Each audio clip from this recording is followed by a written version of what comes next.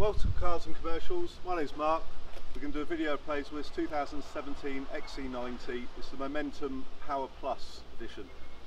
We're going to have a look around, see if we can see any damage and show you a detailed description of the vehicle. We start on the front bumper. There's no major stone chips, no scratches. As you'd expect, it's a 2017 car. It really is, really is up together. All the tyres are good, the alloy wheels. Uh, we'll come down the driver's side. Again, through the wing, through the doors. All very nice.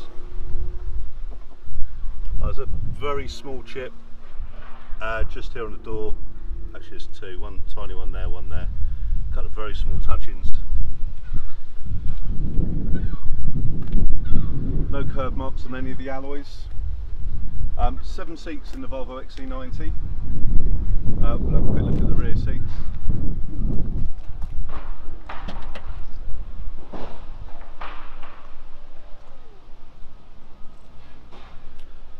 So all seven seats have the leather.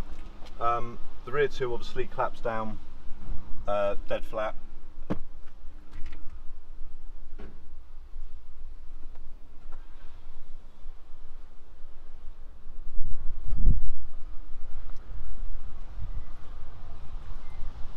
Get the rear parking sensors, the electronic tailgate.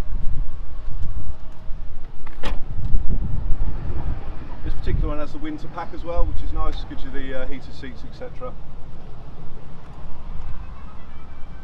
Again, all down the passenger side is all perfect. Um, you also get keyless entry and keyless go with these, so you never take your key out of your pocket or your handbag, which is nice. Near side front alloy is normally the one that would get some sort of damage but again this one's absolutely fine.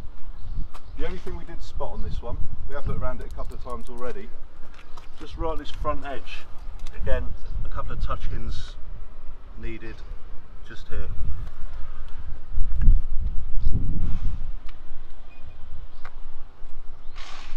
But apart from that the car's absolutely immaculate. Have a quick look inside